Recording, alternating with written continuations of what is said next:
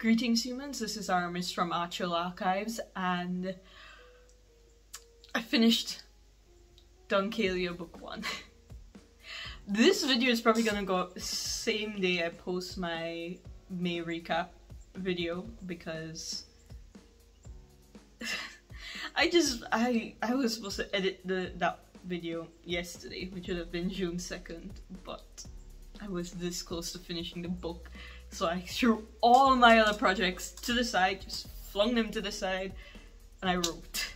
And I wrote and I wrote and I got 7,541 words done yesterday to completely finish Dun'kaelia. It's at 50, a laptop, it's at 52,749 words um, as a total for draft one. And I wrote those over the course of 10 days. The entire first draft. Well, it was actually 10 days of writing over the span of 12 days because last Friday and Saturday I didn't write, but Sunday to Thursday and then this Sunday to Thursday. So, two, two five day periods, 5,000 words a day. I got 6,000 one day last week and I got 7,500 yesterday and it's done. I have never finished a book this fast before. And actually, I wouldn't say it's hard. I, I thought it was going to be harder. I set this goal just to see if I could, and I didn't expect to actually accomplish it, but I did. I wrote 52,000 words, almost 53,000 words in the span of 10 days, on averaging 5,000 words a day. Now, uh, every night I went to sleep exhausted. Um, creative work is definitely draining in a way that physical work isn't. Uh, for instance, just this Sunday gone, I spent two hours in the yard cutting down grass and stuff. Um, and I didn't feel tired after that, but two hours of writing that's tiring. Not the bad tiring, but definitely it feels like you did a mental workout. Um, but I didn't. I don't think it would have felt that tiring if I wasn't also uh, editing Goldfinger Book Two.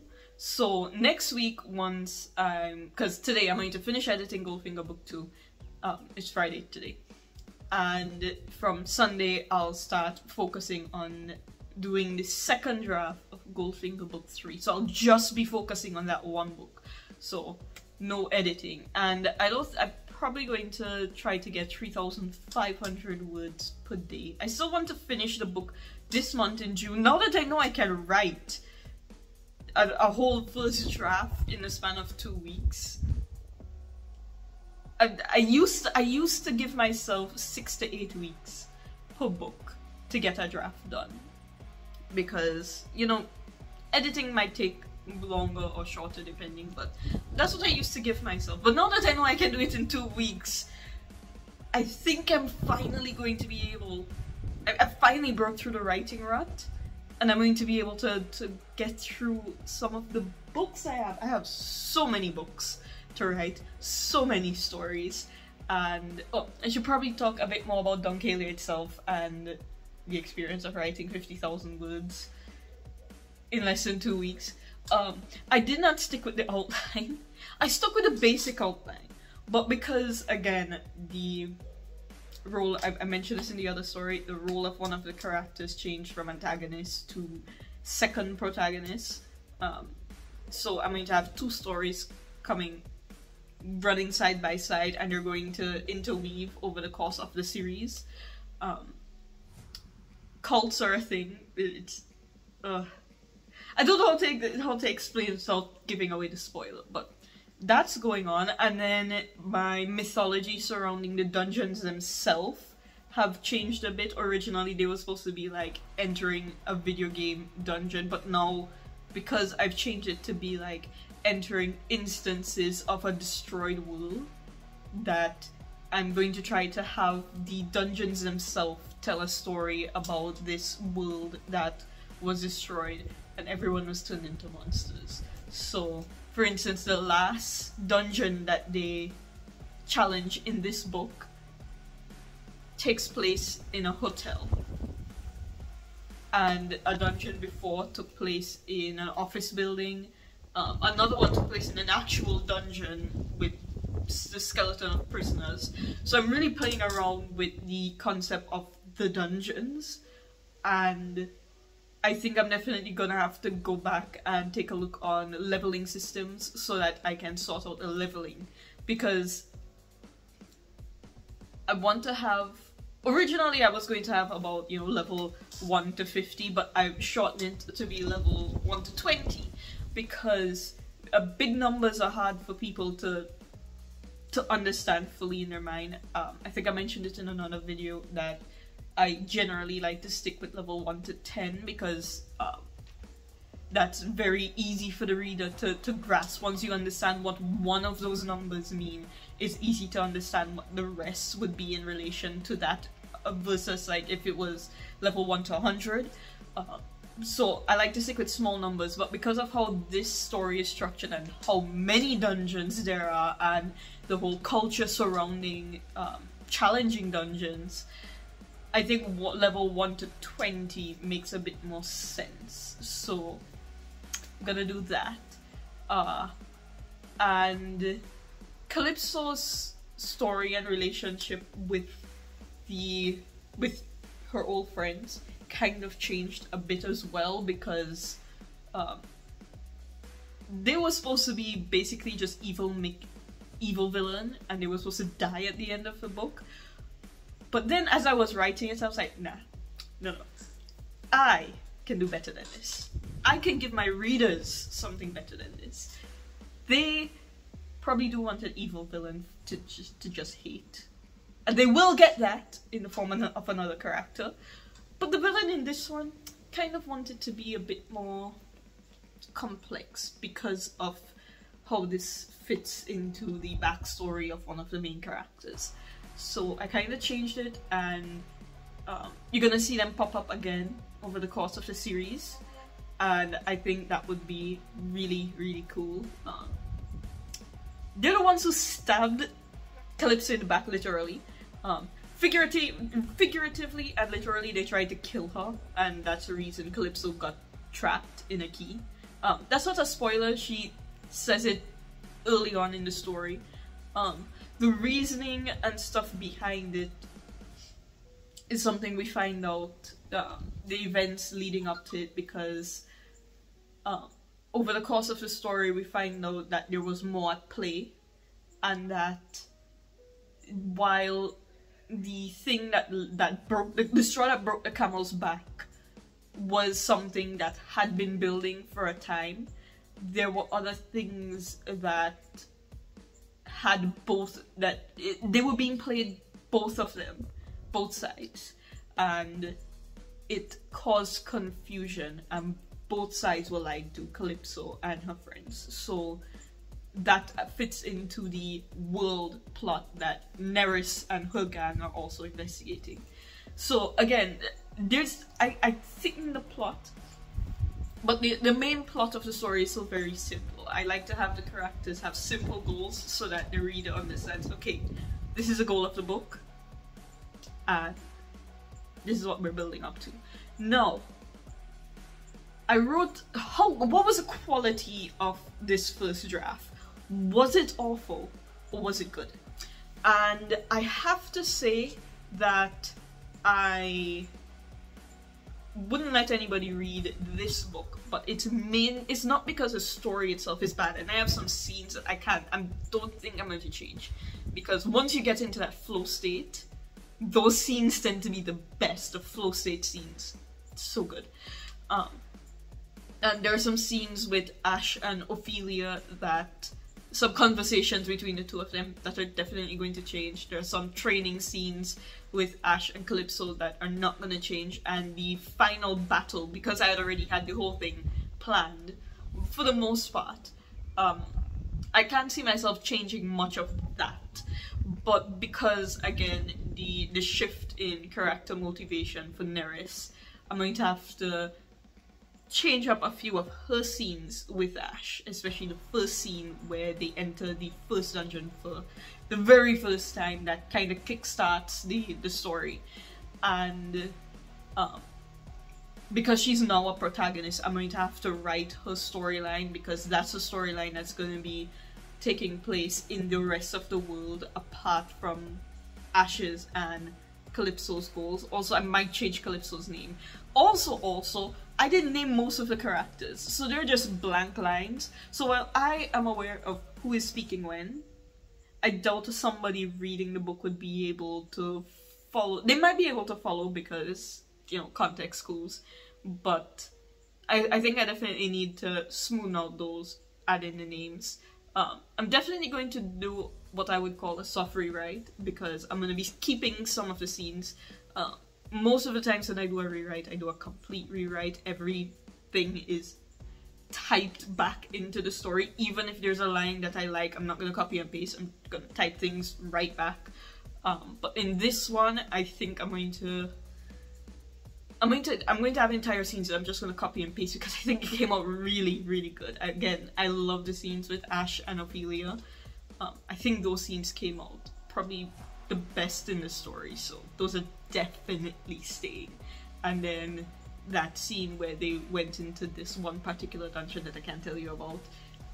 That's gonna that's gonna be, remain apart from maybe me adding in some more description. So I actually think that considering how quickly I wrote this story, the quality was there. I can't see. Um, okay, so for instance, it took me what two years to write Andata Book Five, and I re rewrote it like three times. And the final version, I really like how the final version came out, but the first and second draft of th that book was not the quality was not as high as this book. And those books took me months to write versus this that took me less than two weeks. So I don't actually see a difference in quality based on the length of time I took. Again, I like I've mentioned in the other video that I think that I do want to try to get up to 5,000 words being um, my average daily word count uh, because for since the beginning of the year till now, 3005 has been my average daily. So I think 4000 is uh, over the, the few days, the first 3000 were easy to get, 3005, they I got those in the morning usually. And it was the last 1500 that tended to give me the most trouble, which makes sense if I'm already used to writing 3005. The, the extra is gonna give me a bit of trouble, but I still like how things came out. The only, well, the biggest problem is that I, because I don't have much friends, I, I live in Jamaica, literacy is not something that's very important here. And because of that, most of the people I know don't read at all, and they're very proud of the fact that they don't read. Um, my mother is a is a literacy and numeracy special ed teacher, and oh, she is struggling right now imagine she's teaching grade 2 and she's going to be doing pull-out classes for grade 3 and 4 and these kids cannot write their own name. That is how bad the literacy and numeracy in, in this country is. Um, the people she went to university with, half of them didn't even learn how to read and write until they were in their teen years, so yeah. So I, I don't have a lot of people to talk to about the about the story and I don't know any writers in real life so when I texted one of my friends and I said oh I got 5,000 words today I'm 25,000 words into the story now. She texts back and asks is that good or bad? I was like just took the wind straight out of my sails by asking me to explain it so yeah it's a little frustrating because even this morning um, I, I wrote the last bit of the book last night and I was just so tired because 7,500 words was a lot and I also spent a good bit of the day trying to get the washing machine working because it had like five power cuts. It was ridiculous. And every time the power cuts, the you have to reset it and then it stutters and it was just annoying.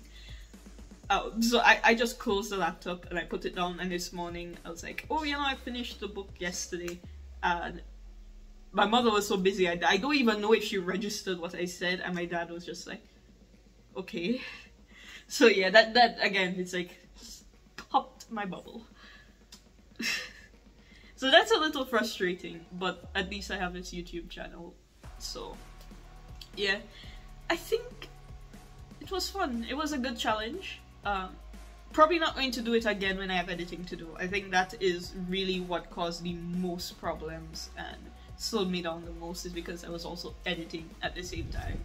And yeah, I think I'll just stick to either a lower word count with writing, like do 3000 words in the morning and editing in the evening, or if I'm going to do 5,000 or more words for the day, then I'll just do writing for the day. That's what I think would work out best for me at my current skill level. So, still waiting on the battery for my laptop, so I can't publish Goldfinger yet. Been having some shipping problems in Jamaica, and I don't even think we have an Apple store here. if it is, it's probably in Kingston, and it will cost me more to go to Kingston than to order it online and have it shipped here and pay customs on top of that. That is how expensive it is to get to Kingston, but hopefully I'll be getting it soon, which means Goldfinger will be published, hopefully, by the end of the month. Uh, it's already done. It's done. I have the book cover. I've finished editing it. It's done. And Dun'kaelia is not going to be published for now. Uh, I could edit it completely. I could rewrite it and within two months have it at what I think would be a good quality for publication where I think the readers would really enjoy it and there wouldn't be anything that would pull them out of the story. But I don't like to publish the first book if I don't write the other two books. I like to have three books written. Um, I did the same thing with Adata. I wrote the first three books before I published the first one. Uh, Goldfinger, I am going to I wrote the first two books and the first draft of the third before I'm going to publish the first.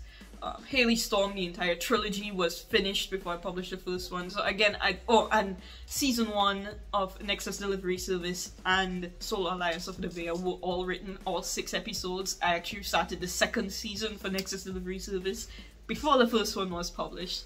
So uh, um, because I, I explained in other videos that sometimes you're writing book three, and then you realize, oh, I should have really foreshadowed it in book one, like the fact that Tobias in Goldfinger was previously married. I kind of had to work that into book one, so I'm really glad I did not publish Goldfinger book one until now. But I think I have everything mostly sorted out, so I'm done with book one. Almost done with book two. Gonna be done with book three. And with Dun'kaelia, I want to have book two and three written, at the very least have the first draft of book two and three written before I start getting this up to publication. I know I did, I've said this before and I'll say it again. My biggest fear is for a reader to say that they're disappointed. If you don't like it, it's a taste. If you love it, um, my ego will feel very happy. It loves being stroked.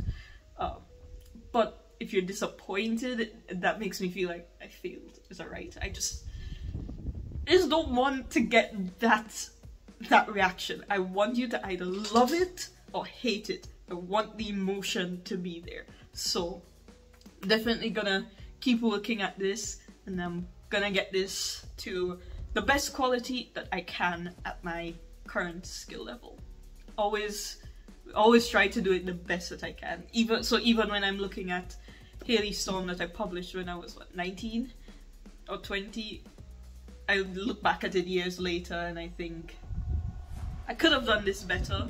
And then I have to remind myself no at the time this was the absolute best that I did. Of course I'm gonna look back years later and think oh I can write this better if I wrote it now. Because if you're not improving that's just what are you doing if you're not improving? So I have to keep reminding myself of that, that I'm trying to do my best right now, and that every book is better than the last. That's that's my goal at the moment, to make every book better than the last.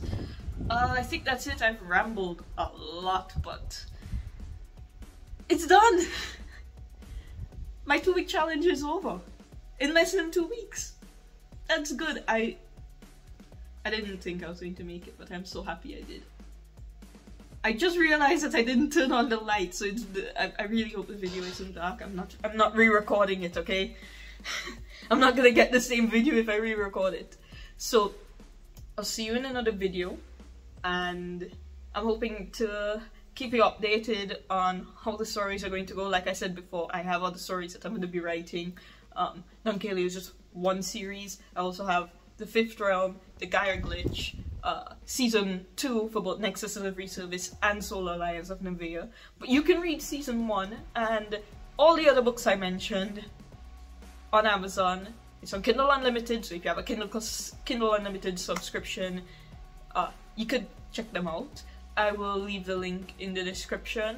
Um, I was going to say which one you should try first, but I kind of love them all. Um, yeah, I, can't tell you which one to try first, but I hope you, I hope you can find something that you like there because I write very widely and I have fun writing.